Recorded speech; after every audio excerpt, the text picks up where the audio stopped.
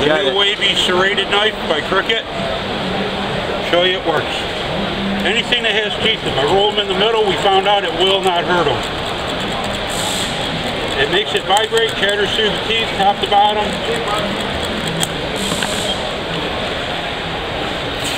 Takes that serrate sharp as it can get. Can you tell the difference on that? Feel that. Yeah, I can actually. You see what it did? All right, now watch this front. I'll show you how I do that. On a smooth edge, these rods are made to squeeze back so they follow that original bevel. You don't want to devalue a knife.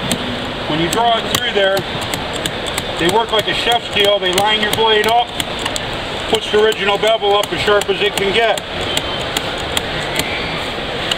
They're quick, they're simple, anybody can do it. If anyone else has got a knife here, I'll show you the difference.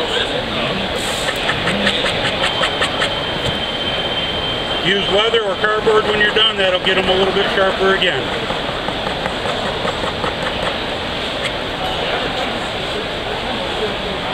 American made, lifetime guaranteed. Thank you, sir. Anytime. Do them today, 20 each, 2 for 30.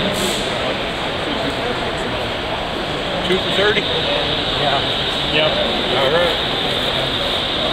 If you wear them out, bring them back, we'll give you a new one. I'm here all the time. On anything you can find with a cutting edge.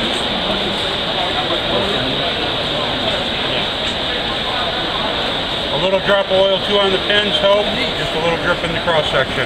Any kind of oil works. That like before sharpening it? Yeah, yeah. Keep them oily. And the pins won't get dirty that way. Thanks. Appreciate you guys.